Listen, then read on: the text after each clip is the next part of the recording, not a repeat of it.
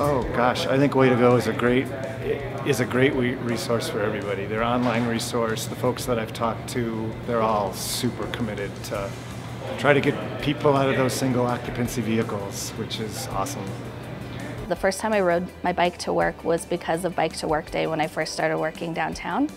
And it was super easy. I didn't realize how convenient it was just to hop on the Cherry Creek Trail and take that all the way downtown.